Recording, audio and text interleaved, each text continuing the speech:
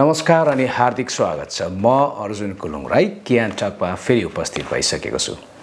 आज पनि एक अतिथिसँग उपस्थित भएको छु। आज मसँग हुनुहुन्छ वरिष्ठ consultant physician doctor Manish Subedi र म उहाँलाई यस कुराकानीमा स्वागत गर्न चाहन्छु। तपाईँलाई कुराकानीमा हार्दिक स्वागत छ। धन्यवाद छ अर्जुनजी। नमस्कार सबैजनालाई। सन्चै हुनुहुन्छ है। एकदम सन्चै छु। डाक्टर साहबहरू जहिले व्यस्तताकै दौरानमा चाहिँ एकदम दौडधुप हुन्छ त्यही अवस्थामा बोलाइयो। केही छैन। विशेष गरी चाहिँ आज अब तपाईँकै क्षेत्रको विषयमा नै हामी कुराकानी गर्छौँ। हजुर। सु कुराकानीको सुरुवात गरौँ होला। बिरामीसँग भेट्दाखेरि कस्तो फिल गर्नुहुन्छ? हुनु त तपाईँले विशेष गरी सुगर प्रेसर मुटु किडनी यावत विषयमा चेक जाँच गर्नुहुन्छ बिरामीहरूलाई होइन? उहाँहरूसँगको भेटमा कस्तो अनुभूति हुन्छ? यो अर्जुनजी अब कस्तो भइसक्यो भन्दाखेरि अहिले अब म ठ्याक्कै बिरामी हेर्न थालेको अर्थात् त्यो चिकित्सक पेसामा लागेको। झन्डै झन्डै सत्र अठार वर्ष भयो। अहिले चाहिँ मलाई कुनै दिन बिदा भएर घर बस्नु पऱ्यो भने पनि के पुगेन के पुगेन जस्तो हुन्छ क्या त्यो बिरामीको दिनभरि कुराहरू अथवा उहाँहरूको गुनासोहरू होइन? त्यो सुनिराख्ने बानी जस्तो भइसकेको छ हेर्नु। त्यो त्यही भएर त्यो त्यो भएन भने त्यो पाटो भएन भने अर्थात् अब म चाहिँ यो चिकित्सक नभएको भए चाहिँ अरू केही पनि हुन सक्दिनँ थियो होला जस्तो खालको लाग्छ क्या मलाई। यसैको लागि नै म बनेको थिएँ कि जस्तो लाग्छ कहिलेकाहीँ। भनेपछि तपाईँको पेसाप्रति तपाईँ धेरै नै प्रेम गर्नुहुन्छ एकदम एकदम धेरै नै प्रेम गर्छु। यो प्रश्न चाहिँ किन सोधिएको भन्दाखेरि मैले जस्तो कि विभिन्न अनुभूतिहरू चाहिँ तपाईँले सङ्कलन गरिरहनुहुन्छ। अब हामीसँग पनि त्यो अनुभवहरू छ। हामी चाहिँ रोगी भएर पेसेन्ट भएर होइन तपाईँ चाहिँ डक्टर हुनुभएको नाताले। जस्तो यो डायबिटिस भयो होइन प्रेसर भयो यस्तो रोगी त दिनहुँ भेट्नुपर्ने हुन्छ नि एकदम एकदम। अहिले उहाँहरूको मनोविज्ञान कस्तो हुने गर्छ? तपाईँको डिफ्रेन्ट एङ्गलहरू छ हेर्नु अर्जुनजी। अब कोही कोही मान्छे के हुन्छ भन्दाखेरि अहिले त्यसमा आफ्नो मान्छेको लिट्रेसीमा पनि भर पर्ने कुराहरू यो। कोही कोही चाहिँ अब अहिले आएर ट्रेन्ड कस्तो भइसक्यो भन्दाखेरि रुटिन चेकअपको लागि नै पनि आउनुहुन्छ नि। जस्तै उमेरको हिसाबले गर्दाखेरि बा मेरो उमेरको हिसाबले मैले मलाई अब के के भइरहेछ त डाक्टर साहब? मलाई हेर्न मन लागेछ भन्ने हिसाब हुन्छ। अर्को चाहिँ कुनै अर्कै समस्याको लागि आउने तर अर्कै रोग निम्ति नै होइन? से म तपाईँलाई एउटा उदाहरणको लागि भन्छु। केही दिन अगाडि मात्रै मसँग एकजना सन्थाल जातिको व्यक्ति आउनुभएको थियो। उहाँले म उहाँ म उहाँले मलाई के भन्नु भन्दाखेरि डाक्टर साहब मैले तिन वर्षदेखि मेरो खुन कम भएर मैले दबाई खाएको। मेरो खुन कहिले बढ्दैन? होइन? उहाँले सामान्य मेडिकलमा जानु हुँदो रहेछ खुन बढाउने दबाई माग्नुहुन्छ। उहाँलाई आइरन छ कि भिटामिनको झोलहरू दिइँदो रहेछ मेडिकलबाट। विशेषज्ञलाई देखाउनु भएको छैन। देखाउनु भएको छैन। आफ्नै मनोविज्ञानले। हो मा मनोविज्ञानले खुन कम भयो अनि खुन बढाउने औषधि खाइराख्नु भएको छ। तर उहाँको किन खुन कम भएको थियो त? भरे उहाँको मैले सबै जाँचहरू गरेर हेर्दाखेरि चाहिँ उहाँको दुइटै मृगौला खराब भइसकेको अवस्था रहेछ कि। उहाँ चाहिँ कि त डायलाइसिस कि त मृगौला नै फेर्नुपर्ने अवस्थाकोमा पुग्नु त्यो अवस्थासम्म त्यो अवस्था हेर्दा हष्टपुष्ट देखिन्छ बाहिरदेखि। हेर्दा हष्टपुष्ट देखिन्छ। भनेपछि मान्छेहरूलाई एउटा चिज भइरहेको जस्तो लाग्छ भने त्यो चाहिँ कुनै अर्को रोगको लक्षण हुनसक्छ। त्यो एकदम जरुरी कुरा भयो क्या। एउटा जे देखिन्छ त्यो नहुन पनि सक्छ यो होइन? किनभने किडनी बिग्रिँदा पनि खुन कम हुन्छ। उता पेटभित्र जुका छिरेर जुकाले खायो भने पनि खुन कम हुन्छ। तर त्यो चाहिँ थाहा पाउने चाहिँ मेरो खास मैले पढेको विधा नै त्यही हो कि इन्टरनल मेडिसिन भनेको चाहिँ। हामीले चाहिँ विभिन्न लक्षणको आधारमा के रहेछ त उसलाई लागेको कुरा भनेर डायग्नोसिस गर्ने चाहिँ हाम्रो विधा हो। त्यो विधालाई चाहिँ इन्टरनल मेडिसिन भन्छ अर्जुनजी। हो। यो सुगर र प्रेसर विशेष गरी सुगर र प्रेसर त जो कोही लाइन लागेकै हुन्छ। मेरै घरमा पनि चाहिँ छ होइन? मेरै घरमा अँ, तपाईँ डक्टर साहबकै घरमा पनि छ। यो प्रत्येक नेपाली नागरिकहरूको एउटा परिवारभित्र रहेको यो रोगै हो होइन? कसै कसैमा यो छैन भन्दाखेरि त्यो चाहिँ सायदै त्योभन्दा स्वस्थ घर घर परिवार कुनै हुँदैन होला। कसरी विश्लेषण गर्ने सुगर र प्रेसरलाई म चाहिँ के भन्छु भने सुगर अर्थात् चिनी रोग भनौँ न। चिनी। हामीले अब सुगरै डायबिटिज। डायबिटिज मेलाइटस हो ठ्याक्कै होइन? डायबिटिज चिनी रोग। यो खास यो चिनी रोग भनेको चाहिँ अनुशासन हो भन्छु म हेर्नु। डिसिप्लिन डिसिप्लिन चिनी रोग हामीलाई किन अहिले चिनी रोग बढिरहेछ त भन्दाखेरि हामी डिसिप्लिनमा नभएर। हाम्रो हो एक प्रकारको तपाईँको जुन तिस वर्षभन्दा माथिको मान्छेहरूमा चिनी रोग देखिन्छ त्यसमा एउटा फ्यामिली हिस्ट्री अथवा जेनेटिक फ्याक्टरको पनि रोल त हुन्छ। तर त्यो वंशाणुगत तपाईँको हिस्ट्री छ चिनी रोगको भन्ने बित्तिकै त्यो मान्छेलाई चिनी रोग लागिहाल्छ भन्ने चाहिँ हुँदैन कि। त्यसमा पनि केही न केही इन्भाइरोमेन्टल फ्याक्टरको रोल चाहिँ हुन्छ। जस्तै के हो त इन्भाइरोमेन्टल फ्याक्टर भन्नुहुन्छ भने हाम्रो खानपिन र जीवनशैली। धेरै निर्धारण गर्छ। एकदम धेरै नै निर्धारण गर्छ। हाम्रो अहिले जुन हिसाबको लाइफस्टाइल चेन्ज हुँदै गयो हाम्रो खानपिनको हेबिटहरू चेन्ज हुँदै गयो त्यो नै तपाईँको डायबिटिज बढ्नुको मुख्य कारण हो। हाम्रो रहन सहनले धेरै प्रभाव हाम्रो रहन सहनले प्रभाव पार्यो त्यसले हाम्रो जीवनलाई केही सजिलो त बनाइदियो तर धेरै किल खालका रोग पनि ल्याउने बाटो खुल्ला गरिदियो कि। सुगरले त केसम्म गरेछ भने के खाने र के नखाने भन्ने होइन आफैमा अन्तर्द्वन्द धेरै के। हो। अनि त्यो मैले अघि भने नि हजुरलाई सुगर भनेको अनुशासन अनुशासन के हिसाबले मैले भनेको भन्दाखेरि एउटा एडल्ट मान्छे स्वस्थ मान्छे भनौँ न अथवा अथवा साठी केजीको मान्छे। सामान्यतया मान्छेको शरीरको ओजन पचासदेखि सत्तरीको बिचमा होला प्राय मान्छेको होइन? एउटा साठी केजीको मान्छेलाई दिनमा केही काम नगर्ने मान्छेलाई दिनमा अठार सय क्यालोरी भए पुग्छ कि इनर्जी। अठार सय अठार सय क्यालोरी। भनेपछि हामीले के विचार गर्नु पऱ्यो भने हामीलाई अठार सय क्यालोरी चाहिने हो होइन? अब डायबिटिज छ भने अठार सय क्यालोरी चाहियो नि त हामीलाई।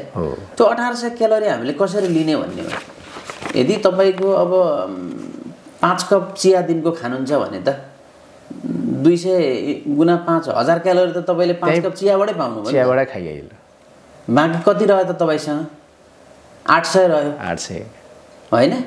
अनि एउटा दुईवटा रेडबुल खाइदिनु भयो भने त अठार सय पुगेन त। पुगिसक्यो। भनेपछि त त्यहाँ त खानाको त तपाईँको ठाउँ भएन नि त। जति मात्रामा हामीले क्यालोरी चाहिएको छ त्योभन्दा बढी भनेपछि यसमा अब तपाईँको के चाहिँ अब खानै नहुने होइन? खानु हुँदैन भन्ने चाहिँ के हुन्छ भन्दाखेरि डाइरेक्ट अब चिनीजन्य कुराहरू भनौँ न जस्तै के हो त त्यो भनेको भन्दाखेरि चिनी मिठाईहरू भयो। चिनी त फेरि सबै थोकमा हुन्छ नि जस्तो कि यो यो त हामीले प्रत्यक्ष देखेको गुलियो भएर चिनी जस्तै मैले? के भनौँ तपाईँको चियामा हाल्ने चिनीको सुगर र फलफुलमा पाइने गुलियोको सुगर फरक कुरा हो जुन चाहिँ हेर्नु। त्य- त्यसको चाहिँ धेरै। मैले त्यो त्यो जुन चियामा हाल्ने चिनी हुन्छ नि चिनी नै हालेको मेटेरियल जस्तै चियाको चिनी भयो मिठाई भयो कोल्ड ड्रिङ्क्सहरू भयो होइन Coca Fanta Frooti Red Bull यस्ता जे जति पनि छन् यो कोल्ड ड्रिङ्क्स भयो सक्खर भयो यो डाइरेक्ट गुलियो हो। यो चिज हामीले अभोइड गर्नुपर्छ हेर्नु। तर इन्डाइरेक्ट जस्तै अब फलफुलको गुलियो त्यो खासै फरक पर्दैन। किनभने त्यो शरीरले एकैछिनमा पचाउँछ कि? त्यसले फरक। त्यही भएर त्यो ठ्याक्कै गुलियो पाइने चिजहरू चाहिँ हामीले कम गर्नुपर्छ होइन? छोड्नुपर्छ यो सुगर खाँदाखेरि कार्बोहाइड्रेटहरू हुन्छ नि तिनीहरू चाहिँ अलिक कम गर्नुपर्छ भन्छन् होइन? अब कार्बोहाइड्रेट हाम्रो खाना चाहिँ कस्तो छ भन्दाखेरि सामान्यतया हामी के खान्छौँ त भन्दाखेरि बिहान हामी खान्छौँ दाल भात तरकारी होइन? तरकारी। दिउँसो खाजामा हामी खान्छौँ। त्यो त्यस्तै चिउरा। चिउरा खान्छौँ। चाउमिन। चाउमिन मोमो। चाउचाउ होइन? बेलुका फेरि के खान्छौँ हामी। दाल भात खान्छौँ हो। भनेपछि हाम्रो खानामा के छ त भन्दाखेरि कार्बोहाइड्रेट मात्रै छ हेर्नु प्रोटिन मात्र। बढी छ। प्रोटिन केमा छ भन्दाखेरि अलिअलि अलि जुन दाल खायौँ हामीले त्यो मात्रै प्रोटिन हो नि त। अरू त सबै कार्बोहाइड्रेट हो नि त। तर कार्बोहाइड्रेट चाहिँ तपाईँको खानकीमा तिसदेखि चालिस पर्सेन्टभन्दा बढी त हुनु भएन। भनेपछि हाम्रो खाना एउटा जुन प्लेट छ हामीले खाने त्यो प्लेटमा नर्मल्ली हामी कति भात राख्छौँ त भन्दाखेरि सबै भातै हुन्छ। हो। छेउमा अलिअलि कुना कुनामा जुन ठाउँ हुन्छ त्यहाँ अलिकति सब्जी त हुन्छ। चार भागको एक भाग मात्रै भात राख्नु पऱ्यो कि? चारवटा कुना मानेर एउटा कुनामा भात हुनु पऱ्यो एउटा कुना पुरै सब्जी हुनु पऱ्यो एउटा कुनामा दाल हुनु पऱ्यो एउटा कुनामा सलाद हुनु पऱ्यो त्यही हो अनुशासन भनेकै। खानामा अनुशासन भएन भने सुगर आयो। त्यसो भए तपाईँ किन आलु किन आलु खाँदा भइगयो नि? के फरक पर्छ सुगर लागोस् नलागोस् आलुले पनि केही बिगार यो सुगरको मात्रा बढ्न थालेपछि उसिनेको चामल खाएर मान्छे हैरान न स्वाद छ न केही छ। अब त्यो फेरि अहिले तपाईँको कस्तो ट्रेन्ड छ भने उसिनेकै चामल तपाईँ खानुहोस् या अलुवा चामल खानुहोस् केही फरक पर्दैन। फरक केले गर्छ भने तपाईँ कति खानुहुन्छले फरक गर्छ कि? त्यसको मात्राले। हो अब उसि उसिनाको चामल खानुभएको छ तर पहिलाको अलुवाको जति नै एक प्लेटै खानुभएको छ भने त केही फरकै त्यसले चेन्ज ल्याएन भनेपछि तपाईँहरूले उसको क्यालोरी घट्दैन भन्ने कुरा थाहा पाएर बढी हिँड्नु एक्सर्साइज गर्नु पसिना निकाल्नु भन्नुहुने रहेछ। अब रोटी खा खाएको छ चिनी नै घटाएको छैन। कतिवटा रोटी खानुहुन्छ र भनेर सोध्यो भने आठवटा दसवटा। अब आठवटा दसवटा रोटी खाइसकेपछि त्यो त उसको क्यालोरी त झन् बढेर झन् बढेर? भात छोडेर रोटीबाटै क्यालोरी तपाईँले दुईवटासम्म रोटी खाँदाखेरि त्यसले पुग्छ मान्छेलाई होइन? आठवटा नौवटा रोटी खाएपछि त फेरि यसले कस्तो छ भन्दाखेरि हेर्नु त्यो कार्बोहाइड्रेट तपाईँले लिनु भयो नि। हामीलाई चाहिने कार्बोहाइड्रेट त ग्लुकोज त शरीरले लिन्छ। अनि त्यो बाँकी भएको उब्रेको चाहिँ गर ट्राइग्लाइसेराइड। एक खालको कोलेस्ट्रोल भनौँ न। त्यो बनेर डिपोजिट हुन्छ क्या। भनेपछि त्यसैले गर्दा डायबिटिजलाई पनि यो गरौँ। त्यसैले गर्दा उता कोलेस्ट्रोल पनि कोलेस्ट्रोल बढेर पनि बढो भनेपछि यो त द्विपक्षीय असर भयो है?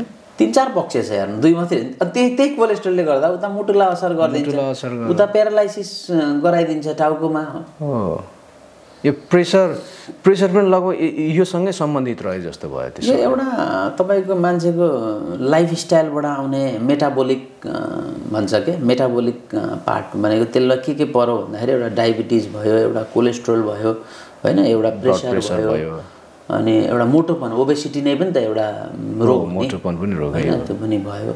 यो सबै चाहिँ हाम्रो खानपिन र लाइफस्टाइलमै भर पर्ने कुरा हो। अझै मान्छेलाई जेनरली थाहा पाउन चाहने यो सुगर जस्तै ब्लड प्रेसर पनि हो नि छ यो ब्लड प्रेसरलाई चाहिँ कसरी हामीले चाहिँ आफूले आफूलाई मेन्टेनेन्स गर्ने त्यो ब्लड आफूले आफूलाई मेन्टेनेन्स गर्न चाहिँ अब ब्लड प्रेसरलाई के हुन्छ भन्दाखेरि ब्लड प्रेसरमा पनि दुईवटा एस्पेक्ट छ हेर्नु। एउटा डाइटको पनि रोल छ। रोल छ। होइन? अब एक्सर्साइजको पनि रोल छ। त्यस पछाडि औषधि त भइहाल्यो होइन? जुन चाहिन पनि सक्छ अब नचाहिन पनि सक्ला आफ्नो लेभल हेरेर हुन्छ।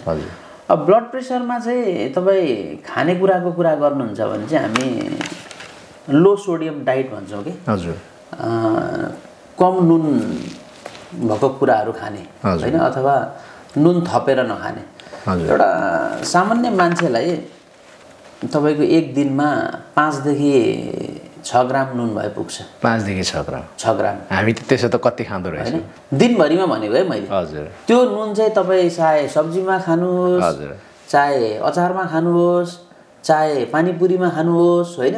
चाहे लेज कुरकुरेमा खानुहोस् जेमा खानुहोस् तपाईँ। पाँचदेखि तपाईँलाई एक दिनमा पाँचदेखि छ ग्राम नुन भए पुग्छ अहिले नेपालीले तपाईँले हेरेअनुसार बिरामीले हेरेअनुसार कति जति खानुहुन्छ नुन? अनि अब यहाँ यसरी हामी सामान्यतया हेरौँ एउटा घरको परिवारमा मानिलिउँ पाँचजना सदस्य कमाउने हुन्छ भने त्यो घरमा दिनमा तिस ग्राम नुन खपत हुनु पऱ्यो परो सरदर एक केजीको नुनको पोकाले प्याकेटले। एक महिना पुग्नु पऱ्यो ठिक छ? कति दिन पुग्छ भनेर मापन गर्न सकियो एक एउटा परिवारमा यदि एक पोका नुनले एक महिना पुगिरहेछ भने ठिक छ। हेल्दी नुन नुन खुवाइ हेल्दी छ। हेल्दी छ। नुन खुवाइ हेल्दी छ होइन? तर अब तपाईँको सातै दिनमा एक पोका नुन सकिरहेछ भने त नुन खुवाइ हेल्दी छैन नि त। अब नुनलाई कसरी कम गर्न म यहाँ म? आफूलाई पनि हाम्रो परिवारलाई पनि म यहाँ के अरे दाँच्दैछु क्या हामीले नुन कति खाँदैछौँ। सोध्नु होला होइन? अब आफूले तपाईँको कसरी चाहिँ कम गर्ने भन्नेमा चाहिँ के छ भन्दाखेरि तपाईँले अब एक्स्ट्रा नुन केमा हालिन्छ हेर्नु त्यो सोच्नु पर्यो सामान्यतया दाल र सब्जीमा जुन नुन पकाइन्छ हजुर। त्यो ठिक्कको नुन छ भने ठिकै छ होइन? कहिलेकाहीँ सलादसँग हालेर पनि त्यस पछाडि तपाईँले अचार खानुहुन्छ। अचार खाइन्छ। अचार भनेको अचारमा त काँचो नुन हालेर बनाउने चिज हो। ए तपाईँ प्रेसरको मान्छे हुनुहुन्छ भने तपाईँ बिना नुनको अचार खानु। अमिलो अचार खानु पिरो अचार खानु केही फरक पर्दैन तपाईँलाई। तर काँचो नुन चाहिँ हो अस्तो खानु। अब पापड तपाईँ खानुहुन्छ भने पापडमा नुनको क्वान्टिटी एकदम धेरै हुन्छ फेरि पापड आफैमा अनहेल्दी हुन्छ है। होइन? बजार बजारदेखि लिएर आएको हुन्छ। भनेपछि अब अर्को एक्सपेक्ट हुन्छ दालमोट भुजिया हेर्नु। दालमट भुजिया। तपाईँलाई प्रेसरको बिरामी छ भने तपाईँले दालमोट भुजियालाई एभोइड गर्नु पऱ्यो किन त्यहाँ त नुनको क्वान्टिटी धेरै छ। धेरै छ। एकदम फ्राई गरेर पकाएको कुरा तारेर पकाएको कुरालाई एभोइड गर्नु पऱ्यो रोस्ट रोस्ट गरेको कुराहरू खानु भएन। त्यहाँ नुनको क्वान्टिटी बढी छ हेर्नु। होइन? सलाद खानुहुन्छ भने नुनमा चोबेर खाने बानी छ भने त्यो छोडिदिनु पऱ्यो तपाईँले। नुनमा नचोबी खाने गर्नु पऱ्यो भनेपछि त्यति भएपछि तपाईँको लगभग नुनको प्रोस्पेक्टबाट चाहिँ प्रेसरको मान्छेलाई ठिकै हुन्छ होइन? अरू भनेको अरू भनेको तपाईँको एकदम धेरै कार्बोहाइड्रेट नखाने। नुनको कुरा गरिरहँदाखेरि बिरे नुन भन्ने पनि छ नि त अर्को। त्यसले चाहिँ कतिको असर गर्छ? त्यो त झन् म्याक्सिमम् मैले काँचो खाने गरिरहेको त्यसले त्यसले पनि गर्छ। त्यसको चाहिँ अलिक कम होला। त्यति धेरै फरक छैन हेर्नुहोस् दुइटैमा उस्तै फरक चाहिँ छैन? लगभग। मान्छेको एउटा यो थोरै अब दस पन्ध्र पर्सेन्ट कम हो त्यसमा। तर त्यसले त्यति ढुल ठुलो भयो त्यो खाएपछि चाहिँ फेरि धेरै खान पाइन्छ भन्ने चाहिँ हुँदैन। त्यो सेतो नुन खाएर- भन्दाखेरि अघि भन्यो नि हामी। डायबिटिजको मान्छेले ए म त उसिना चामल खाइरहेको छु मैले त जति खाए पनि हुँदैन र भन्ने जस्तो कुरा मात्रै हो त्यो हेर्नु। यो बजारमा पाउँछ नि जस्तो कि sugar free coke sugar free त्यो बिस्कुटहरू यो सुगर फ्री नै हुन्छ। अहिलेसम्म तपाईँले भनेअनुसार त सुगर फ्री नहुने भन्दाखेरि सुगर चाहिँ सुगर फ्री भन्न खोजेको के हो भन्दाखेरि त्यसमा पनि हुन्छ कि सेकेरिनहरू भन्छ कि? हजुर। त्यो चाहिँ नन कम्प्लेक्स कार्बोहाइड्रेट भन्छ त्यो गुलियो त हुन्छ होइन? गुलियो त हुन्छ। तर त्यो चाहिँ के हो भन्दाखेरि त्यो शरीरभित्र छिट्टै पचेर जाने हुन्छ कि त्यसमा? छिट्टै पचेर जाने खालको सुगर हुन्छ त्यो होइन? त्यो कारणले गर्दाखेरि जस्तै अब तपाईँले सुगर फ्री ट्याब्लेटहरू पाइन्छ नि जुन डायबिटिसको मान्छेले चिनीमा हालेर खानुहुन्छ ट्याब्लेट्सहरू त्यो पनि स्विटनरहरू हो। त्यसले मिठोपन चाहिँ दिन्छ तर सुगर हुँदैन। त्यसले स्वाद दिने सुगर स्वाद दिने सुगर छैन। सुगर त छ तर सुगर चाहिँ त्यो शरीरले पचाउन सक्ने खाले सुगर हुन्छ कि जम्मा भएर बस्छ त्यो पनि धेरै मात्रामा खायो भने त्यसले अभोइडै गर्नुपर्छ। हेर्नु अब तपाईँले बिना चिनीको चिया खानु भएको छ कि छैन होइन? खाएको छु। मैले चाहिँ खाएको छु। र बिना चिनीको चि चिया जुन हुन्छ पाँचदेखि सात दिन मात्रै हो। त्यस पछाडि तपाईँलाई त्यही मिठो लाग्न थाल्छ हेर्नु हो। अहिले त ग्रिन टीको यु युवाहरूमा ग्रिन टीको एउटा ट्रेन्ड पनि आएको छ नि। ब्ल्याक टी के अरे ब्ल्याक कफी खाने ट्रेन्ड होइन त्यो एउटा कल्चरको रूपमा बिस्तारै डेभलप हुँदैछ हामीले देखिरहेको छौँ। यो जेनेटिक कुरा गर्नु पनि यो सुगर र प्रेसर चाहिँ खाना मेन्टेनेन्स गर्दाखेरि पनि त्यो वंशाणु रूपमा आउने गर्छ। एकदम आउने चाहिँ गर्छ। जति नै अनुशासित भए पनि। जति नै अनुशासित भए पनि आउन चाहिँ सक्छ तर के हो भन्दाखेरि अरू जेनरल पर्सन भन्दा त्यो जेनेटिक रूपमा उहाँको अघिल्लो पुस्ताला छ भने दोस्रो पुस्ताले आउने सम्भावना बढी हुन्छ। आउने सम्भावना बढी हुन्छ। यो प्रोबेबिलिटीको कुरा हो हेर्नु आउने सम्भावना बढी हुन्छ। तर तपाईँले त्यो आउने सम्भावनालाई ढकेल्न सक्नुहुन्छ। अनुशासनले। पुरै टार्न नसक्यो भने होइन? डिसिप्लिनमा बसिदियो भने डिसिप्लिनमा बसिदियो भने। सुगर त अब डिसिप्लिनमा तपाईँ एकदम डिसिप्लिनमा बस्नु हो भने तपाईँलाई जीवनभरि नै औषधि नै नचाहिने पनि हुनसक्छ नि। हो। एक्सर्साइज गर्नु पऱ्यो खानपिन मेन्टेनेन्स गर्नु पऱ्यो योसँगै जोडिएको थाइरोइड क्या? हजुर। कुनै चाहिँ पातलो शरीर हुने कसैको मोटो शरीर हुने एक्कासी थाहा नपाइकन थाइरोइड लागिदिने। हो। यो थाइरोइड चाहिँ यस्तो छ। थाइरोइडको बारेमा मैले भन्नुपर्दा चाहिँ के हो भन्दाखेरि धेरै जस्तो थाइरोइड चाहिँ एउटा हर्मोन हो होइन? मलाई कति थाइरोइडको बिरामीहरूले सोध्ने गर्नुहुन्छ कि डाक्टर साहब मेरो थाइरोइड चाहिँ कहाँ छ? मेरो घाँटीको थाइरोइड हो कि के को थाइरोइड हो? सोध्नुहुन्छ नि त। यो आज जस एउटा तपाईँले मलाई प्लेटफर्म दिनुभयो फेरि पनि थ्याङ्क यू अर्जुनजी। सबै मान्छेको थाइरोइड भन्ने एउटा ग्रन्थि हुन्छ त्यो हाम्रो घाँटीमा हुन्छ। यहाँ हामीले यसो गर्दाखेरि ठ्याक्क देख्छौँ नि। यो हाम्रो थाइरोइड ग्रन्थि भयो। थाइरोइड ग्रन्थि भयो। यहाँबाट हर्मोन निक्लिन्छ। एउटा दुई खाले हर्मोन हुन्छ टी थ्री र टी फोर भन्ने। हजुर। होइन अब अलिकति एक्टिभ हर्मोन चाहिँ टी थ्री हो। र जस यहाँबाट थाइरोइड हर्मोन निक्लिन्छ भनौँ न। त्यो यहाँबाट हाम्रो घाँटीबाट थाइरोइड हर्मोन निकाल्नको लागि हाम्रो ब्रेनको पनि त्यसमा फङ्सन हुन्छ रोल हुन्छ है त अब थाइरोइडको हर्मोन चाहिँ हाम्रो शारीरिक ग्रोथ मानसिक ग्रोथ होइन? यो सबैको लागि जरुरी छ। अथवा भनौँ हाम्रो शरीरको तापक्रम मेन्टेन गर्न हाम्रो शरीरको ओजन मेन्टेन गर्न होइन? हाम्रो शरीरको चिल्लोपनको लागि सबै कुराको लागि यो थाइरोइड हर्मोनको जरुरी छ। अब अझ महिलाहरूमा तपाईँ भन्नुहुन्छ भने महिनावारीको साइकल रेगुलेट गर्न होइन? कपालको ग्रोथको लागि स्किनको ग्रोथको लागि सबै कुराको लागि थाइरोइड हर्मोन जरुरी छ। अब थाइरोइड हर्मोन जति हुनुपर्ने हो ठिक्क हुनु पऱ्यो नि त। हामीभन्दा अलिक बढी एक्टिभ चाहिँ महिलाहरूमा देखिन्छ है क्या? यो थाइरोइडको चाहिँ धेरै जस्तो अटो इम्युन रोग भन्छ होइन? हजुर। अटो इम्युन रोगहरू चाहिँ अलिकति महिलामा कमन हुन्छ हेर्नु। थाइरोइडको बिरामी मध्ये पन्चानब्बे प्रतिशत बिरामीहरू चाहिँ महिलाहरू नै महिलामै। अटोइम्युन रोग। अब यो दुई खाले हुने भयो एउटा हर्मोन बढ्ने रोग बढ्ने रोग। एउटा हर्मोन घट्ने रोग। घट्ने रोग। ठिक छ? यहाँ घाँटीबाट हर्मोन बन्छ त्यो हर्मोन ब्लडमा जान्छ। सबैको त्यही हो। कसैको पनि घाँटीको थाइरोइड हो कि ब्लडको थाइरोइड हो भन्ने होइन। सबै मान्छेको हर्मोन घाँटीबाटै निक्लिने हो। त्यो हर्मोन ब्लडबाट शरीरको सबै भागमा पुगेर त्यसले काम गर्ने हो नि त। भनेपछि एउटा घट्ने रोग भयो त्यो चाहिँ अलिकति कमन छ। एउटा बढ्ने रोग। अब सामान्य तपाईँ तपाईँले बुझ्नु पर्दाखेरि हर्मोन बढ्ने रोग चाहिँ के हुन्छ भन्दाखेरि दुब्लाउने खाले थाइरोइड हो त्यो चाहिँ।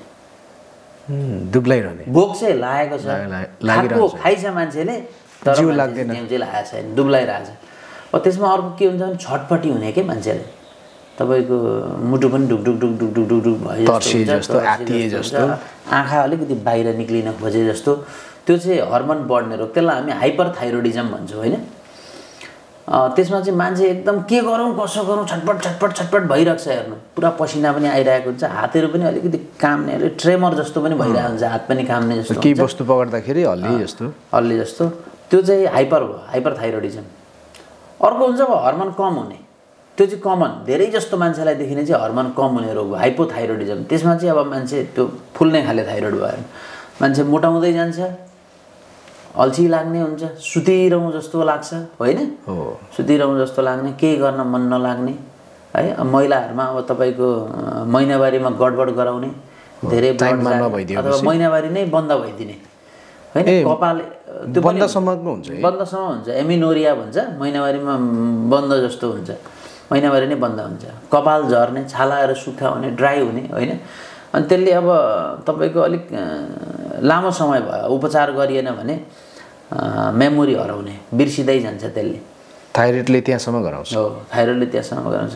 त्यस थाइरोइडले कस्तोसम्म गराउँछ भने उपचार नभएका कतिपय यो थाइरोइड हर्मोन कम्ती भएका बिरामीहरू चाहिँ डिप्रेसनको औषधि खाइरहेछन् कि। थाइरोइडले गर्दा डिप्रेसनको हो थाइरोइडले गर्दाखेरि जुन लक्षणहरू देखिन्छ ती लक्षणहरू चाहिँ उपचार गरिएन भने डिप्रेसनमा देखिने लक्षणहरू जस्तो हुन्छ कि? शरीरमा जाँगरै चलेन अल्छी मात्रै लागिरहेछ होइन? बसिराख्न मात्रै मन लाग्छ के। भयो भन्दाखेरि ए मलाई त बा डिप्रेसन पो लाग्यो कि क्या? भनेर भन्यो डिप्रेसनको औषधि गर्यो त्यो वास्तवमा त थाइरोइडले गर्दा हुन्छ। शरीरलाई पुरै गलाइदिन्छ। यो कोही चाहिँ मोटो मान्छे एक्कासी पातलो हुने र लामो अवधिसम्म पातलो भइरहने अथवा उसलाई जति नै खानपिन गरे पनि मेन्टेनेन्स गर्न खोज्दा पनि त्यो नसक्ने। कोही चाहिँ मोटो मान्छे हतपति घट्नै नसक्ने। यसमा चाहिँ थाइरोइडको कतिको असर पुगेको हुन्छ। होइन यस्तो त्यो यसको के रिजन त हुन्छ होला नि त? के मोटो मान्छे घट्नै नसक्ने? घट जस्तो कि हिजो पातलो भएको मान्छे एक्कासी मोटायो त्यसपछि घट्नै नसक्ने। यस्तो छ त्यो अब अथवा हिजो मोटो मान्छे आज घट्यो घटे घटे भइरहने। होइन कुनै रोगको कारणले गर्दा हो भने त त्यो रोग उपचार गर्यो भने त्यो डेफिनेटली नै त्यो ठिक हुन्छ। त्यो रोग नदेखिएपछि त्यो नर्मलै मान्नु पर्यो त्यसलाई। अब रोगै केही देखिएन र नर्मल छ भने चाहिँ तपाईँको उसको अन्य फ्याक्टर हेर्नु पऱ्यो कि। जस्तै तपाईँले भन्नुभयो नि कोही मान्छे मोटो छ केही पनि रोग देखेको छैन तर दुब्लाउनै सकिरहेको छैन। भनेपछि अब अघि मैले जुन तपाईँलाई भनेको थिएँ नि क्यालोरी। हजुर। यो कस्तो उ छ भन्दाखेरि यदि तपाईँले दिनमा अब दुब्लाउनु तपाईँलाई पर्ने छ भने त क्यालोरी क्यालोरी भन्दा खपत गरेको क्यालोरी बढी हुनु पर्यो हेर्नु। ठिक छ? यदि तपाईँ एक दिनमा पाँच सय क्यालोरी डेफिसिटमा बस्नुभयो भने। भन्न खोजेको एक दिनमा चाहिँ तपाईँलाई चाहिने भन्दा खपत चाहिँ पाँच सय बढी गर्नुभयो भने एक हप्तामा तपाईँ चार सय ग्राम वेट घट्नु लुज गर्न सक्नुहुन्छ। चार सय ग्राम। ठिक छ? ठिक छ। भन्न खोजेको पाँच सय क्यालोरी तपाईँले कम गर्नुभयो भने है त? हो। पाँच सय क्यालोरी कम गर्नु तपाईँले के गर्नु पर्यो भने नि तपाईँ आधी घन्टा कुद्नुभयो अरे भने तपाईँले करिब करिब दुई अढाई सय क्यालोरी जति तपाईँले बन्द गर्नुहुन्छ कि आधी घन्टा आधी घन्टा। जगिङ गर्दा? भनेपछि दिनको एक घन्टा मजाले जगिङ गर्ने मान्छे जगिङ गर्यो भने अरू सबै कुरा सेम रह्यो भने अनि तपाईँले एक हप्तामा आधी केजी घट्न सक्ने हुनुभयो। एक हप्तामा तर तपाईँले आधी घन्टा जगिङ गर्नुभयो आधी घन्टा जगिङ गर्नुभयो अनि तपाईँ त पुरा गल्नुभएको हुन्छ नि त। हो। अनि ठ्याक्क जगिङ सकिसकेपछि चाहिँ दुई सय पचास एमएल कोक खाइदिनु भयो भने चाहिँ तपाईँको वेट बढ्छ। किनभने तपाईँले आधी घन्टा जगिङ गर्दा जति क्यालोरी तपाईँले खपत गर्नुहुन्छ त्योभन्दा बढी क्यालोरी चाहिँ एउटा कोकमा खानु कोकले दिन्छ। अथवा दुई कप चिया चिनी हालेको खानु हो भने त्यसमा बढी आउँछ कि? अझै फेरि त्यसको विभिन्न नकारात्मक असर बाँकी यो मान्छेको एकदम मोटो मान्छे म दुब्लाउनै सकिरहेको छुइनँ। एकदम दुब्लो मान्छे मोटाउनै सकिरहेको त्यो चाहिँ अब तपाईँको के हो भन्दाखेरि मोटो मान्छे यदि दुब्लाउनै सकिराख्नु भएको छैन भने त्यहाँ काहीँ न काहीँ गडबडी चाहिँ हुन्छ हेर्नु। जस्तै उहाँको कि त खानपिनमा गडबडी हुन्छ होइन? कि त उहाँको एक्सर्साइज हुँदैन।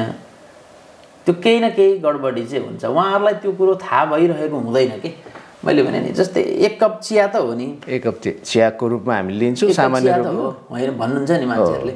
तर अब एक कप चिया भनेको मैले भने नि तपाईँलाई दुई कप चिया भनेको आधी घन्टा कुद्नु जति हो कि? आधी घन्टाको आधी घन्टा कुद्न सजिलो छ कि? दुई कप चिया बिना चिनीको खान सजिलो छ? अघि सुरुवातमै भन्नु पाँच कप चिया खानु भनेको त हाम्रो सिङ्गल क्यालोरी पुग्नु हामी तर बिना चिनीको चिया तपाईँ खानुहुन्छ भने दिनको दसै कप खानु न केही फरकै परेन तपाईँलाई। त्यसले चाहिँ के असर के असर गरेन।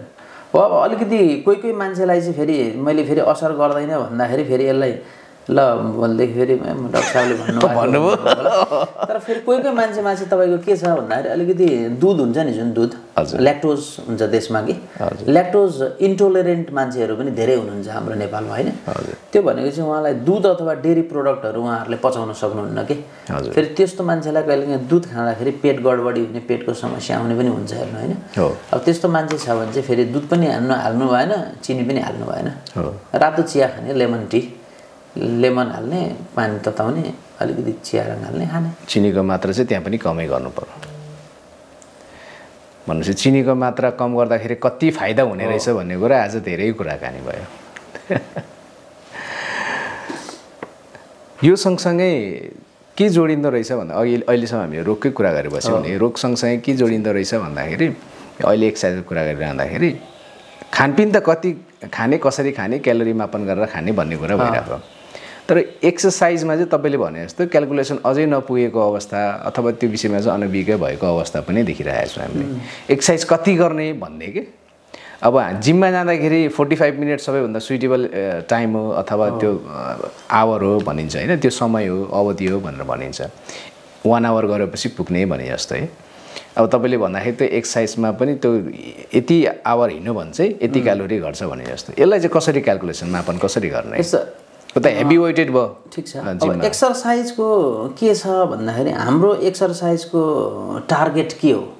होइन? हजुर। जस्तै अब कोही कोही मान्छे हुनुहुन्छ जस्तै तपाईँ नै अर्जुनजी एकदम फिट हुनुहुन्छ होइन? मानिलिनु तपाईँले एक्सर्साइज गर्नुहुन्छ भने त तपाईँलाई वेट घटाउनको लागि होइन?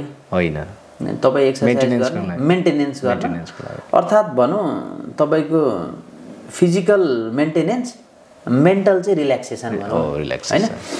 यदि तपाईँले एक्सर्साइज गर्नुको उद्देश्य फिजिकल अब वेट घट्न हो अर्थात् मानिलिउँ सुगरलाई कन्ट्रोल गर्न एक्सर्साइज तपाईँलाई चाहिने हो भने चाहिँ त्यो चाहिँ उमेर समूहको लागि फरक हुन्छ हेर्नु। एउटा साठी वर्षको मान्छेलाई जति एक्सर्साइजले पुग्छ तिस वर्षको मान्छेलाई त्यति एक्सर्साइजले पुग्दैन। पुग्दैन।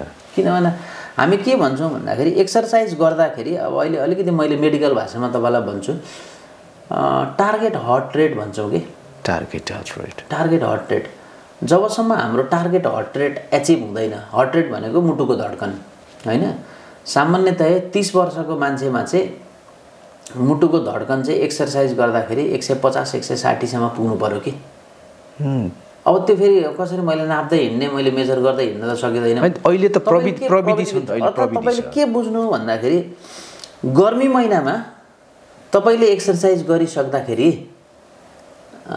तपाईँले एक सासमा मेरो नाम अर्जुन कुलुङ राई हो भन्न सक्नु भएन कि? नसक्ने अवस्था पुग्नु पऱ्यो मेरो नाम अर्जुन कुलुङ राई हो। भन्दाखेरि हो बिचमा ग्याप स्यास्या हुनु पर्यो। त्यति भन्दा तपाईँलाई। गर्मी महिनामा। ठिक छ? जाडो महिनामा चाहिँ तपाईँलाई चिट चिट चिट पसिना आउनु पऱ्यो कि? तपाईँले एक्सर्साइज एक्सर्साइज गर्दाखेरि। हो। त्यो लेभल त्यति हुनु पऱ्यो बुझ्नु नेचुरल रूपमा मापन गर्ने एउटा तरिका एकदम तरिका। किन भन्दाखेरि म म त दिनको पाँच किलोमिटर हिँड्छु डक्टर साहब मेरो केही ओजनै घट्दैन। होइन? एउटा अडल्ट मान्छे अर्थात् भनौँ तिसदेखि चालिस वर्षको मान्छेलाई सामान्यतया एक किलोमिटरको दुरी पार गर्नको लागि पन्ध्र मिनट लाग्छ हेर्नुहोस्। हिँड्न। हो। ठिक छ? तपाईँले त्यो एक किलोमिटर यदि दस मिनटमा पार गर्न सक्नुहुन्छ भने भेरी गुड त्यो धेरै राम्रो हो। तर तपाईँले एक्सर्साइज गर्ने हो भने बढीमा बढी बाह्र मिनट लगाउनुहोस् त्यसलाई। ठिक छ नि? बाह्र मिनटको भित्रमा यदि तपाईँले एक किलोमिटरको दूरी पार गर्नुहुन्छ भने तपाईँको एक्सर्साइज ठिक छ। तर यदि त्योभन्दा बढी समय तपाईँले लगाइराख्नु भएको छ पन्ध्र मिनट बिस मिनट लगाइराख्नु भएको छ होइन? तपाईँले एक किलोमिटर हिँड्न भने त्यसले तपाईँलाई केही एक्सर्साइज गर्दैन। भन्न खोजेको मैले फिजिकल तपाईँलाई त्यति धेरै त्यसले रोल गर्दैन वेट घट्न ओर्नमा मद्दत गर्दैन अथवा सुगर कन्ट्रोल हुनमा मद्दत गर्दैन। हो अलिकति तपाईँलाई केही मेन्टल रिल्याक्सेसन देला होइन? तर त्यसले तपाईँको वेट घटाउन अथवा सुगर कन्ट्रोल गर्न अथवा प्रेसरै कन्ट्रोल गर्न चाहिँ त्यसले त्यति मद्दत गर्दैन। र तपाईँले के बुझ्नुहोस् भन्दाखेरि बाह्र मिनट वा सोभन्दा कममा तपाईँले एक किलोमिटरको दूरी पार गर्नु पर्यो। त्यसरी हामीले क्यालकुलेसन त्यसरी त्यो क्यालकुलेट गर्न त गाह्रो छैन नि त। हामी सामान्यतया कति हिँडिरहेको छौँ कति मिनटमा हिँडिरहेको छौँ। त्यति मात्रै सोच्नु पऱ्यो नि त यसमा त। यसमा कुनै स्मार्ट वाच चाहिएन केही चाहिएन हेर्नुहोस् है। तर फेरि अब हो मैले त्यो अघि जुन कुरा गरेँ नि मैले तपाईँको चिट चिट चिट पसिना आओस् जस्तै साठी वर्षको मान्छे हुनुहुन्छ भने पनि त उहाँले फेरि बाह्र मिनटमा एक किलोमिटर पार गर्न सक्नुहुन्न। गाह्रो पर्छ। गाह्रो पर्छ। शारीरिक रूपमै बिस्तारै उहाँलाई चाहिँ पाँच मिनट हिँड्दै उहाँलाई चिट चिट चिट पसिना आउन थाल्छ नि त। हो। त्यति नै उहाँलाई एक्सर्साइज पुग्छ। हो शरीर बढी छिटो थकान हुने अब अर्को अहिले कम्तीमा पनि हप्तामा पाँच दिन तपाईँले एक्सर्साइज गर्नुपर्छ। सातै दिन गर्नु जरुरी छ भन्ने छैन। पाँच दिन गर्नुपर्छ होइन? र अर्को एउटा चाहिँ सुगर भएको मान्छेले चाहिँ के छ भन्दाखेरि ध्यान दिनुपर्ने कुरा डायबिटिज चार दिन पाँच दिन गर्नेमा पनि त हामीले फेरि अहिले भने जस्तै प्राकृतिक क्यालकुलेसन गऱ्यौँ भने सबैभन्दा बेस्ट हुन्छ होइन भने त फेरि डायबिटिज मान्छेले अर्को के भन्छ भन्दाखेरि तपाईँ सुतेको टाइम बाहेक अरू टाइम चाहिँ दुई घन्टाभन्दा बढी कन्टिन्यू नबस्नुहोस्। कुनै पनि ठाउँमा। कुनै पनि ठाउँ तपाईँले दुई घन्टा कन्टिन्यू बस्नु भएको छ भने तपाईँ पाँचदेखि सात मिनट हिँड्नुहोस्। यो चाहिँ सोच्नु पऱ्यो डायबिटिसवालाले अब जुनसुकै मान्छेले पनि हो हुन त खास होइन। तर डायबिटिजले चाहिँ बढी सोच्नुपर्ने कुरा हो। मानिलिउँ तपाईँ अफिस जबै गर्दै हुनुहुन्छ कामै गर्दै हुनुहुन्छ भने दुई घन्टा यदि तपाईँ कुर्सीमा बसेर काम गर्नुभयो भने त्यस पछाडि तपाईँले दस मिनट जति चाहिँ अलिकति हिँड्दै गर्नु पऱ्यो कि काम। हुन्छ नि अथवा नबसिकन भनौँ न उभिएर यसो गरेर पनि गर्न सकिन्छ। नि त त्यसरी तपाईँ दुई घन्टाभन्दा बढी चाहिँ कन्टिन्यू बसिराख्नु राम्रो हुँदैन डायबिटिसको मान्छेले। भनेको दस मिनट ब्रेक लिने हिँड्ने ओर्ने अनि फेरि बस्ने दुई घन्टा। अब त्यो कुरा चाहिँ सोच्नु पर्यो। हामी दुईजना अहिले बोलिरहेको छौँ यो सुन्नेले सोचिदिनु भयो भने उहाँहरू स्वस्थ रहनुहुने अब रहेछ। यो दुई घन्टासम्म हाम्रो यो इन्टरभ्यू जाने भयो भने हामीले पनि दस मिनट चाहिँ हिँड्दै इन्टरभ्यू गर्नुपर्ने यो सँगसँगै जोडिने चाहिँ तपाईँले भने जस्तो विभिन्न अलिअलि आफूलाई मनोवैज्ञानिक रूपमा म रोगी हुन थालेँ भन्ने कुरा भइसकेपछि होल बडी चेकअपको एउटा संस्कार कल्चरै बसिरहेको छ। यो होल बडी चेकअपलाई चाहिँ कसरी हेर्नुहुन्छ तपाईँहरू? हामी त रोग पत्ता लगाउनु भनेर हेर्छौँ के भन्नुहुन्छ भने चाहिँ यो होल बडी चेकअप भनेको चाहिँ स्क्याम हो हेर्नु। स्क्याम यो चाहिँ सोझा साझा अथवा पढे लेखेका मान्छेलाई ठग्नको लागि बनाइएको एउटा अस्त्र हो भन्छु म।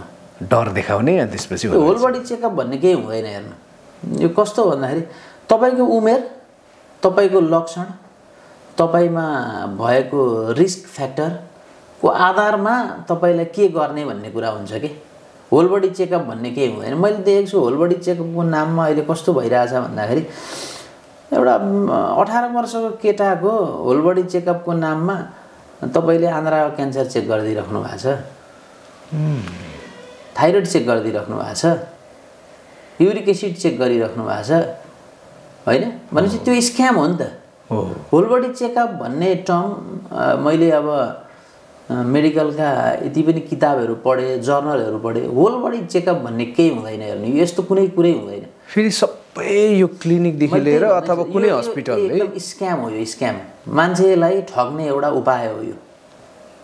कुरो बुझ्नु नि? यो के हो भने होल बडी चेकअपको अर्थ के हो भने हो अब whole body checkup whole W H O L E whole अँ, पुरै शरीर चेकअप पुरै शरीर चेकअप होइन? पुरै शरीर चेकअप भन्ने त्यस्तो हुँदैन। मानिलिउँ तपाईँ उमेर अनुसार हुन्छ नि। जस्तै अब बिस वर्षको मान्छे आउनुभयो अरे कोही मेरो होल बडी चेकअप गरौँ। उसलाई केही लक्षण छैन भने उसको केही चेकअप चाहिँदैन उसलाई। केही गर्नै पर्दैन हो यदि ऊ अब उसमा मोटोपन छ अरे। होइन? मोटोपन छ। मोटोपन छ भने उसलाई के चाहिन्छ? उसको एउटा कोलेस्ट्रोल हेर्नुपर्ने हुनसक्छ एउटा सुगर हेर्नुपर्ने हुनसक्छ एकचोटि प्रेसर कति छ हेर्नुपर्ने हुन। त्यसको उसको लागि होल बडी चेकअप त्यही हो हेर्नु। अब तर एउटा तिस वर्षको मान्छे आउनुभयो।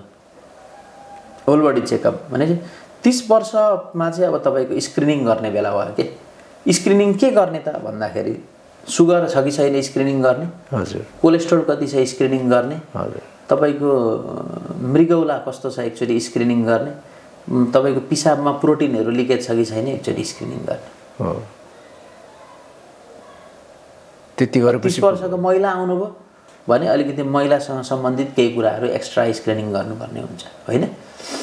एकचोटि पाठेघरको क्यान्सरको स्क्रिनिङ गर्न सकिन्छ अथवा छातीको क्यान्सरको स्क्रिनिङ गर्न सकिन्छ। होइन? स्क्रिनिङ त्यो अब चालिस वर्षको आउनुभयो भनेपछि त्यही अनुसार चालिस वर्ष जुन त्यसरी उमेर समूह उमेर र रोगको लक्षण। लक्षणको र उसको फ्यामिली हिस्ट्री परिवारमा केही रोग छ कि छैन। त्यसको आधारमा चाहिँ स्पेसिफिक टेस्ट हुन्छ हेर्नु। त्यही रिलेटेड भएर टेस्ट गर्नु पर्यो है। जस्तै मानिलिनु मलाई कुन रोगको रिस्क फ्याक्टर छ त्यो त अर्को मान्छेलाई नहुन सक्छ नि त। भनेपछि होल बडी चेकअप भनेर एउटै चेकअपले उहाँको र मेरो रोगको कसरी निदान गर्न सक्छ? गर्दैन नि त्यो त। त्यही भएर होल बडी चेकअप भनेको चाहिँ पढे लेखेका मान्छेलाई ठग्ने एउटा स्क्याम जस्तो भएको छ अहिले। पढे लेखेका मान्छेलाई भन्दैछु मैले हेर्नु। फेरि सर्वसाधारणलाई भन्दा पढेले पढे लेखेका। मान्छेलाई। यो सँगसँगै एउटा हस्पिटलमा हामी जाँदा एउटा बानी पनि छ जस्तो कि हामीले आजै चेक गराएको ब्लड आजै चेक गराएको युरिन टेस्ट स्टोल टेस्ट सबै जति पनि हुन्छ त्यो रिपोर्ट बोकेर गयौँ भने त्योसँग रिलेटेड भएको डक्टर अथवा कुनै क्लिनिकमा जाँदाखेरि डक्टर हुनुहुन्न भने अन्य डक्टर हो भने त्यो हस्पिटलमा जाँदाखेरि फेरि सबै रिचेक गर्नुपर्छ। त्यो एकदम त्यो गलत हो। त्यो रिचेक गर्नु कुनै जरुरी छैन हेर्नु। यदि त्यो ल्याब विश्वसिनो छ भने फेरि यसमा पनि कुरा आउँछ हेर्नु विश्वसनीयतामा। विश्वसनीयतामा पनि कुरा आउँछ। यो यो क्रमलाई अहिले रोक्नको लागि तपाईँको म एउटा इक्जाम्पल दिन्छु। अहिले नेपालमा स्वास्थ्य बिमा भन्ने त अर्जुन सरले सुन्नुभएको? हामीले त्यो प्रयोग गरिरहेको उपभोग गरिरहेको छौँ हामी। स्वास्थ्य बिमामा कस्तो भयो भन्दाखेरि तपाईँ आज जानुहुन्छ सुगर चेक गर्न है। आज उहाँ उनीहरूले उहाँले तपाईँको उहाँहरूले सुगर चेक गर्न जाँदा उहाँले तपाईँको सुगर मात्रै चेक गर्दैन कि? उहाँले तपाईँको सुगर कोलेस्ट्रोल किडनी पिसाब सबै चेक गरिदिन्छ। आवश्यक परेको छैन त्यो पनि चेक सबै सबै सबै। किन भन्दाखेरि तपाईँको त्यसमा ठिक छ वर्षमा एकचोटि गर्नुपर्छ यो जाँचहरू होइन? सुगर कोलेस्ट्रोल सुगर भएको मान्छेले कोलेस्ट्रोल किडनी पिसाबहरू छ महिनामा एकचोटिसम्म गर्दाखेरि ठिक छ। तर तपाईँ अब आज चेक गरियो नि। हजुर। पन्ध्र दिन पछाडि फेरि जानुभयो नि सुगर चेक गर्न। हजुर। फेरि तपाईँको सबै चेक गरिरहेछ। होइन? कोलेस्ट्रोल किडनी मुटु तपाईँको गोजीबाट जब पैसा तिर्नु पर्दैन तपाईँले पनि उसलाई क्वेसन गर्नुहुन्न कि? हो। तपाईँको गोजीबाट तपाईँले पैसा तिर्नु पर्ने भएको भए चाहिँ तपाईँ क्वेसन गर्नुहुन्थ्यो। तपाईँले तिर्नु नपरेपछि तपाईँ क्वेसन गर्नु हामीले त्यो सुविधा पाएको हुन्छौँ हो तर तपाईँले यो बिर्सिरहनु भएको छैन। त्यो पैसा चाहिँ कहाँबाट आइरहेछ त? त्यो पैसा चाहिँ त्यो संस्थालाई सरकारले दिइरहेछ नि त। त्यो हाम्रै ट्याक्स हामीले तिरेको मार्फतबाट तपाईँहरूकै पैसा हो। हामी सबैको पैसा हो। हो। होइन? त्यो संस्थाले आफूले संस्थाको आम्दानी बढाउनको लागि तपाईँ हरेक पन्ध्र दिनमा जाँदाखेरि उसले सबै टेस्ट गरिदिइरहेछ। घुमाइ फिराइ त्यही संस्थाले खाइरहेको तर अब अहिले चाहिँ यो यो यसमा चेन्ज आयो हेर्नु। यो के चेन्ज आयो भन्दाखेरि अहिले चाहिँ अब यो भदौ एक गतेदेखि। हजुर। स्वास्थ्य बिमा बोर्डले टेस्टमा पनि क्याप लगाइदियो कि। त्यो भनेको कस्तो भन्दाखेरि तपाईँले कोलेस्ट्रोल छ नि? हजुर। मानिलिउँ तपाईँले बेलबारीको नगर अस्पतालमा जानुभयो। हजुर। कोलेस्ट्रोल चेक गर्नुभएको छ। किडनी फङ्सन चेक गर्नुभएको छ थाइरोइड चेक गर्नुभएको छ। ठिक छ?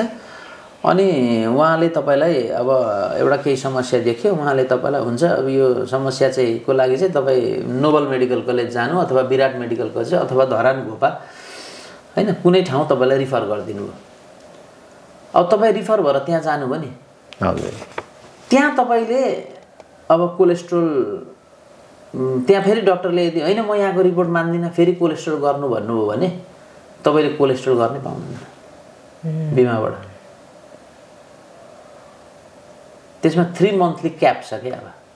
थ्री मन्थको क्याप छ। भनेपछि त्यो त डक्टरले पनि मानिदिनु पऱ्यो म अब अब अरू संस्थाले मैले भन्न खोजेको जुन संस्थाले चाहिँ जुन संस्थाले चाहिँ स्वास्थ्य बिमाको नाममा बिरामीलाई थाहै नहुने गरी हजुर। गर्नुपर्नेका साथसाथै गर्नु नपर्ने पनि परीक्षणहरू गराइरहेका थिए। हजुर। त्यो चाहिँ न्यूनीकरण हुने अथवा म यो न बेलबारी नगर अस्पतालको रिपोर्ट मान्दिनँ। हाम्रै यहीँ गर्नुपर्छ यही विराटमै गर्नुपर्छ हामीलाई विश्वास गर्नुपर्छ भन्ने जुन थियो नि अब त्यो हुँदैन। त्यो उनीहरूले त्यो गराउनै पाउँदैन। क्याप हो त्यो त्यो उनीहरूले त्यही रिपोर्टलाई मान्नुपर्छ उनीहरूले। किन भन्दा हामीले बारम्बार जतिचोटि गयो त्यतिचोटि चाहिँ हामीले चेकअप त्यो गराउनु अब त्यो क्याप छ के? भनेको तिन महिनामा एकचोटि मात्रै गर्न पाइन्छ त्यो टेस्ट।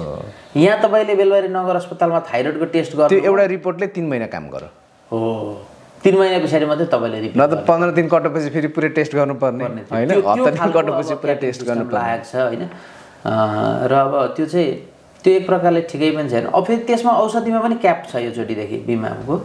औषधिमा पनि कस्तो क्याप छ भने मानिलिउँ यहाँबाट तपाईँले ग्यास्ट्रिकको औषधि आज लिनुभएको छ एक महिना। हजुर। भोलि तपाईँ त्यहाँ पुग्नुभयो होइन? विराटनगर अथवा धरान हजुर। फेरि त्यहाँ तपाईँले फेरि ग्यास्ट्रिकको औषधि लिन सक्नुहुन्न कि? तपाईँको नम्बरमा त्यो अलरेडी इन्ट्री भइसकेको हुन्छ। भदौ एक गतेबाट चाहिँ क्यापको क्यापिङ छ सबै चिज आइटमहरूमा भनौँ न। भनेपछि हामीले औषधिको लापरवाही पनि अब गर्नु नपाइने भयो। औषधि ए चाहे त्यो- औषधि हरायो होइन? यस्तो भयो मैले खोल राखेको थिएँ मुसाले औषधि। भनेपछि त अहिले त केयर पो गर्नुपर्ने अब एकदम केयर गर्नु पर्यो। भने बिरामीले पनि केयर गर्नुपर्ने भयो स्वास्थ्य संस्थाहरूले पनि केयर गर्नुपर्ने सरी यसले त धेरै राम्रो गर्ने भयो भदौ एक गतिदेखि। मेरो पनि त्यो औषधि किनेर ल्याएपछि औषधि हराउने बानी छ। अब एकदम सचेत हुनु जरुरी। किनभने औषधि नपाइने भयो तिन महिनासम्म। औषधि नै पाइँदैन अब तिन महिनासम्म। बिरामी पनि निकै केयर गरेर बस्नुपर्ने अवस्था आयो। अनि त जरुरी पनि छ किनभने त्यो त्यसमा हामी सबैको मिहिनेतको पैसा लागेको छ। लगानी छ सबैले नै त्यसलाई जोगाउनेतिर ध्यान दिनुपर्छ नि। हो। यो सँगसँगै अब हुनु त तपाईँसँग कुरा गर्नुपर्ने चिज धेरै छ। हो यहाँ लेखिरहेको छु मैले होइन? मुटु किडनी। तर यिनीहरू चाहिँ आउने समयमा कुरा गरौँ कि भन्ने लागिरहेको छ। आजको समय चाहिँ करिब हामीले एउटा तयार गरेको तपाईँले दिनुभएको समय निर्धारित समय करिब करिब अन्त्यतर्फ पुगिसकेको छु। तपाईँको अमूल्य समय दिनुभयो हृदयदेखि नै धन्यवाद दिन चाहन्छु। साथै अन्तिममा चाहिँ योसँगै रिलेटेड भएर पेसेन्टलाई के भन्न चाहनुहुन्छ? बिरामीहरूलाई चाहिँ। जो हामीलाई हेरिराख्नु भएको छ अहिले बिरामी मात्रै नभएर स्वस्थ मान्छेले पनि हेरिरहनु भयो होला हाम्रो कुराकानी होइन? उहाँहरूलाई के भन्न चाहनुहुन्छ? म के भन्छु भने हाम्रो हामीसँग भएको सबैभन्दा अमूल्य सम्पत्ति भनेको नै हाम्रो स्वास्थ्य हो। स्वास्थ्य होइन? अँ, हाम्रो स्वास्थ्यलाई अथवा हाम्रो शरीरलाई स्वस्थ राख्न धेरै खर्च लाग्दैन। सामान्य खर्चमै पनि हाम्रो शरीरलाई स्वस्थ राख्न सकिन्छ। त्यसको लागि हामीले खानेकुरामा केही ध्यान दियौँ र नियमित थोरै भए पनि केही व्यायाम गऱ्यौँ भने हामी सबै स्वस्थ रहन सक्छौँ र नियमित रूपमा आफ्नो उमेर हिसाबले अथवा आफ्नो रिस्क फ्याक्टरको हिसाबले आफूलाई केही रोग छ कि छैन त्यो पहिचान गर्न चिकित्सकको सल्लाह लिने बानी बसालौँ। त्यही हो अर्जुन सर।